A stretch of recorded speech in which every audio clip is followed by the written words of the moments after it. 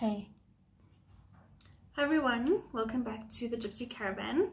Um, so as you can see, today's look is supernatural or more toned down compared to the other two videos that I did. This look is a recreation of makeup that I did myself not too long ago. And by not too long ago, I mean a whole year ago. Hope you enjoy. It's a super feminine look. You can totally use this for date night or going out with friends or going to get your bread and milk at the freaking grocery store because that's all we can do right now and that's the only places we can go at this point in time. So if you want to find yourself someone in the grocery store this is probably the look that you can do. So if you want to see how to get this look then please keep watching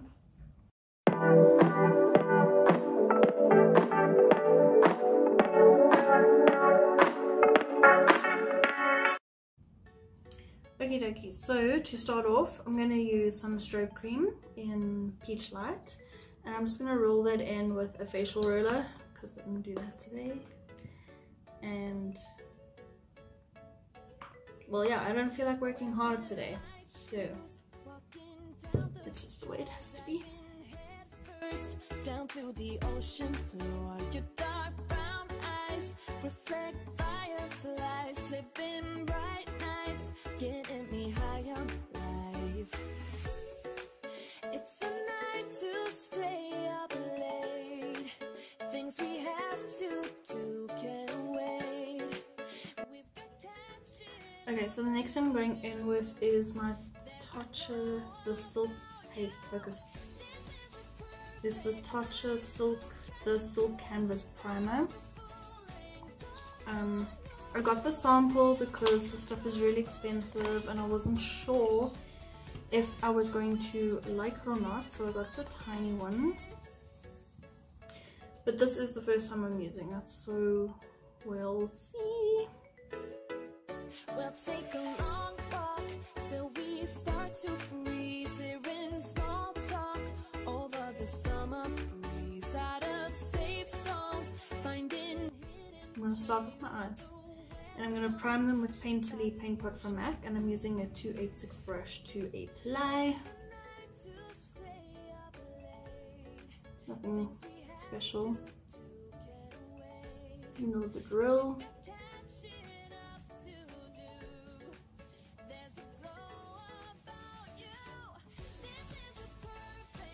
Cool, and then just to set it all, I'm going to go in with my nude custom palette from MAC. Okay, so I'm gonna go in with this shade at the bottom here. It's called Yogurt. And I'm just gonna apply it with the same 286 brush from before.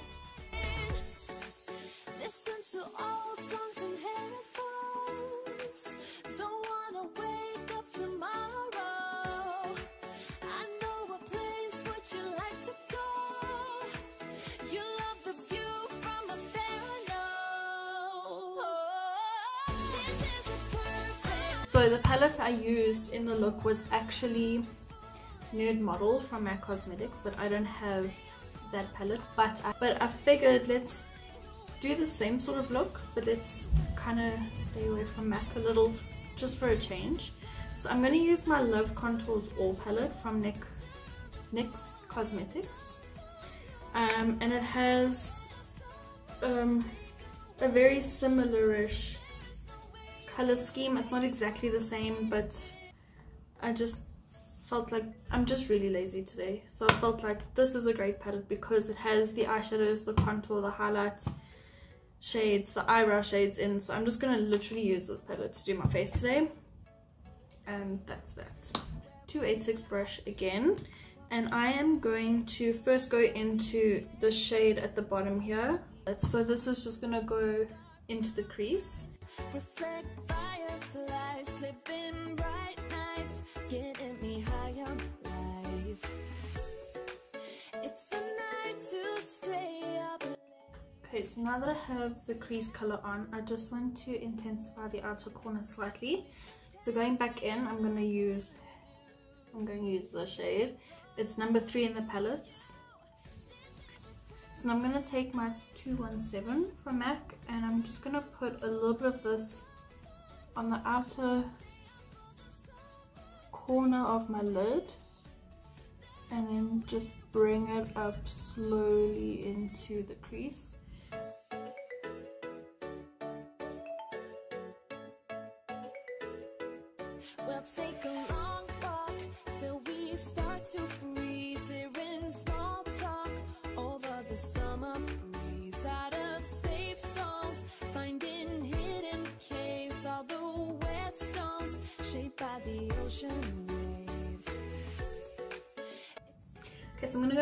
with my custom nude palettes and I am going to use this bottom shade here called Phloof.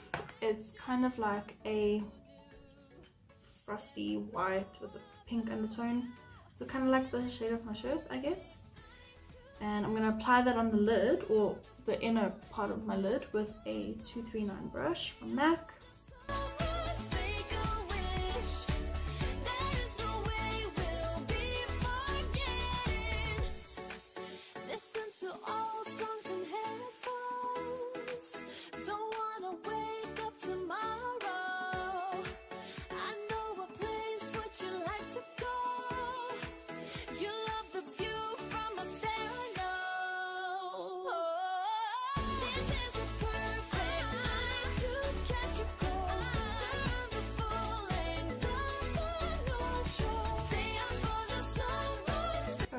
Now I'm just gonna line my top lashes for now. I am gonna come down to the bottom soon.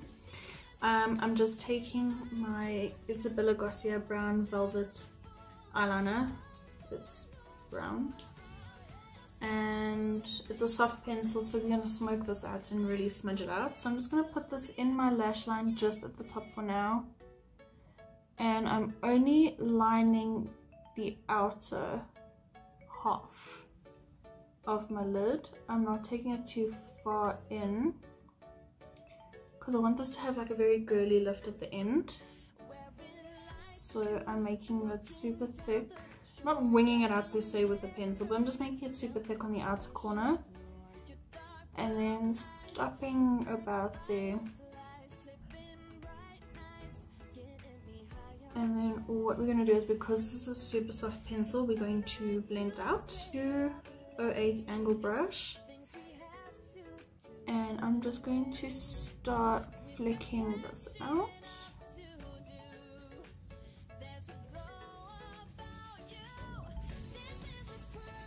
And just kind of move it around. I do naturally have droopy eyes as well so any lift I can get at the end of my eye is really good. So that's really all we're doing. It's just a little wing a little flick just kind of moving the product around so that it's super soft.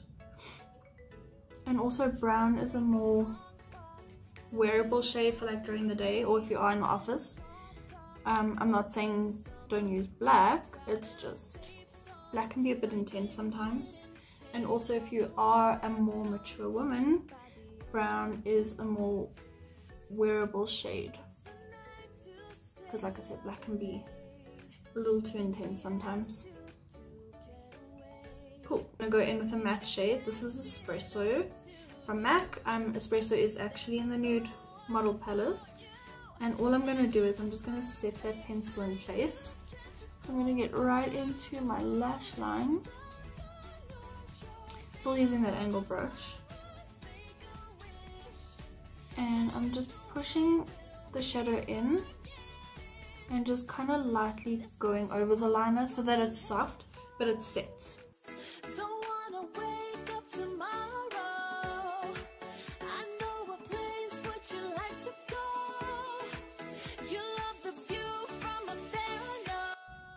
Right, so as you can see, it, it gives you a very soft cat eye effect without being too dramatic for the office.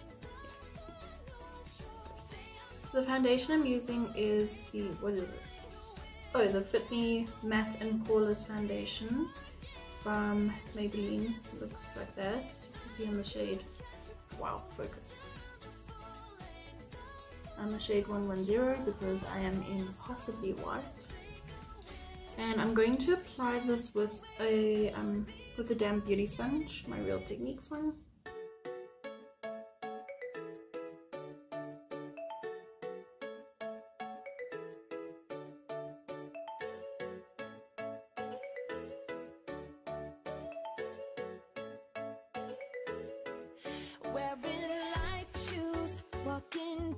Alrighty, so for concealer, I'm just gonna go in with my MAC Studio Fix 24 Hour Smooth Wear Concealer.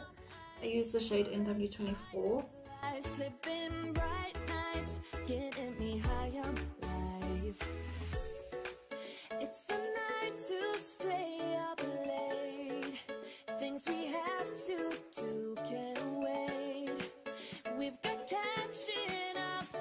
Alrighty, so now I'm gonna do just a tiny bit of baking, nothing too intense. On my Prep and Prime translucent powder. And I'm just gonna use my Real Techniques setting brush to just apply.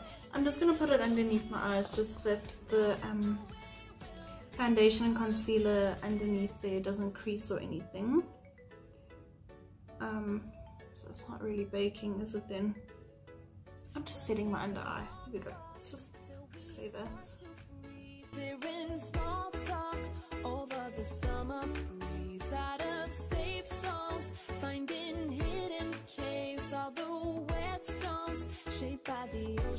Alrighty, so now we're gonna just go in and finish the rest of the eye, so like underneath my eye.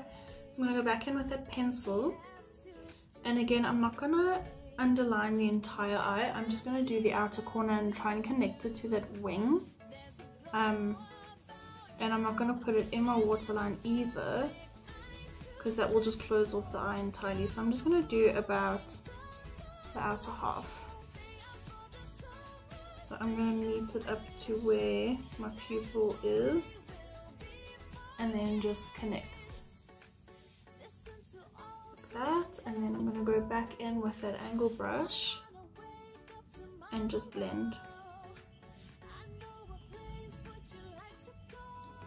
And while I'm blending this out, I'm keeping it its thickest at the end, as you can see there, and then just slowly tapering it into the inner corner.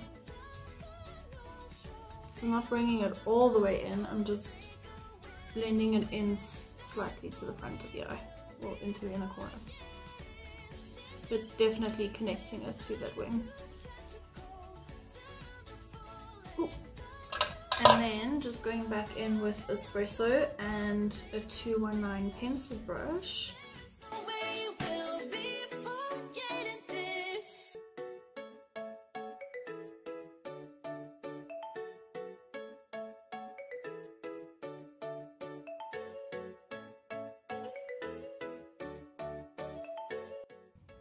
Alrighty, so for mascara, I'm using my Haute Naughty mascara from MAC. Here we go. I'm going to use my Haute Naughty because it's a tried and true mascara for me. So I'm just gonna, I'm gonna apply that to the top and bottom lashes and really like try and get my lashes to be super thick.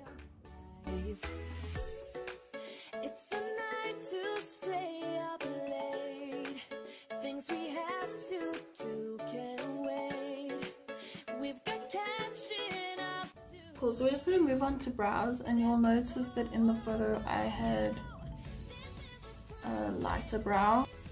And I'm going to go in with the Prolongwear Waterproof Brow Set in Emphatically Blonde from MAC. It looks like that.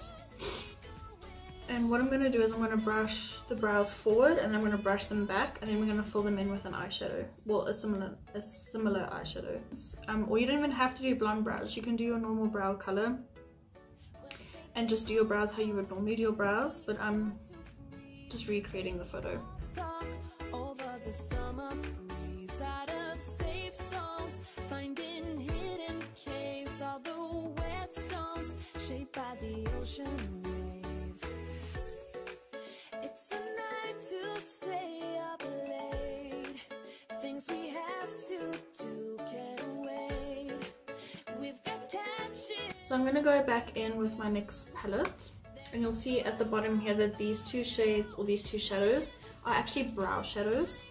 So I'm going to be using the lighter one just to kind of fill in the gaps and really like structure my brow out.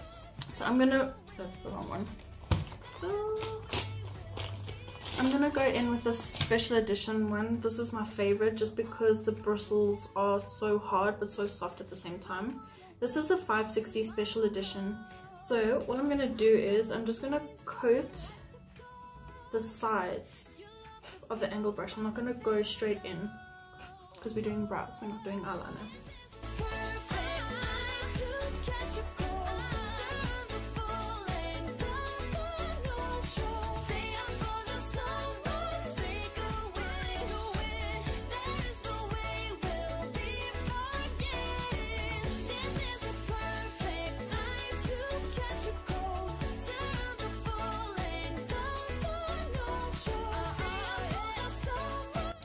Um, okay, cool. So now we're going to go in with some contour. Again, I'm just going to use this palette. They have a light and a dark shade. So I'm going to be using the lighter one, which is number 10, that one there. And I'm not going to really contour my face. I just want to do a kind of soft bronze, kind of define the face, but not really kind of look. Um, so I'm going to be using a 168 brush to do that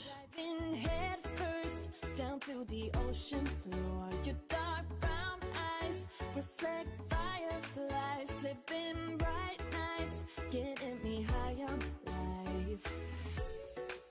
It's a night to stay up late. Okay, so I'm to do a little dusting of blush, and I'm going in with a very messy custom palette of mine. Um, I'm going to use this one here, which is Well Dressed. And I'm going to use my Smashbox. Smashbox. I really cannot say that. Like, is there something wrong with me? My Smashbox Build Cheek Brush. And I'm just to push this into the apples of my cheeks.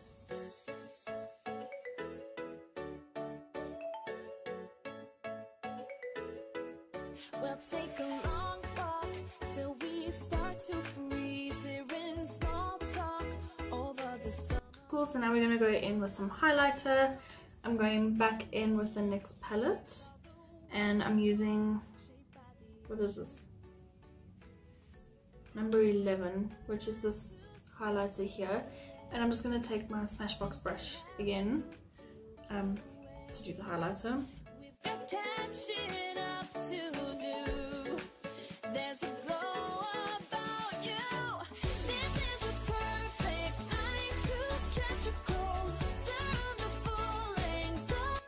Then I'm just going to take that 286 brush and we're going to highlight just underneath the brow bone.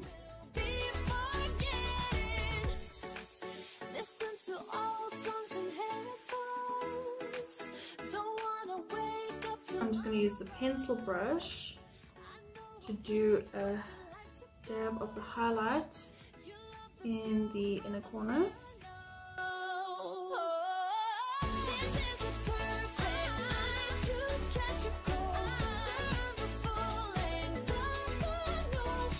Okay, so now for lips. I know I had a super dark neutral lip in the photo. Um, the whole look was pretty much inspired by that lipstick. So I'm just going to do the same thing because that's what I did in the photo. So I'm just going to prime my lips with the Prep and Prime lip base from MAC.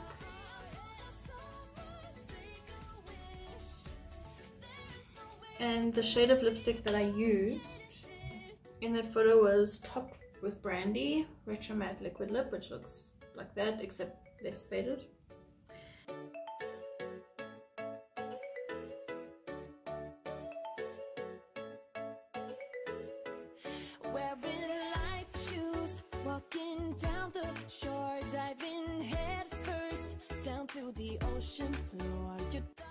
Cool, so that pretty much is the look. It's super natural, very feminine, very pretty to wear if you want to feel like being a girl for the day because when I know stuck in quarantine I don't feel like shit.